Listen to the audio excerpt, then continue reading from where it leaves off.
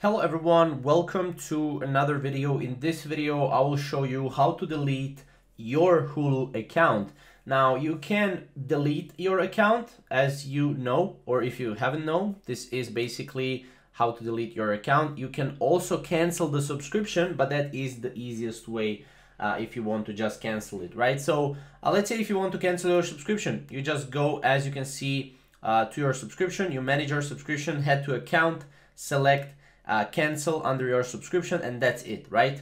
You can also pause your subscription, uh, but that's pretty much it. But let's say you want to delete your account, right? Because a lot of people want to do that. So you can go to your hulu.com, log in into your account, go to your account.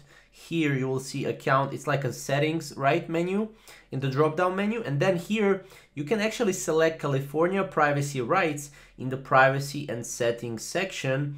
It's located in the lower left hand corner as you can see right here. Then you can just click start deletion and then here right to delete, click on it and then here you will be able uh, to have this screen and then you can click start deletion, delete my account now. I understand that I will immediately lose access to Hulu including for the rest for my current billing cycle. And then you can basically, you know, check your email for further, um, basically, um, you know, notifications and requests. And then you can click confirm in the verification email and that's pretty much it. Um, you will obviously need to wait for further instructions regarding your deletion request. Uh, sometimes it takes like a day or two, but yeah, that's basically how to do it. Very simple, very straightforward. If you have any questions regarding this, comment down below and we'll see you in the next video. Thank you guys for watching.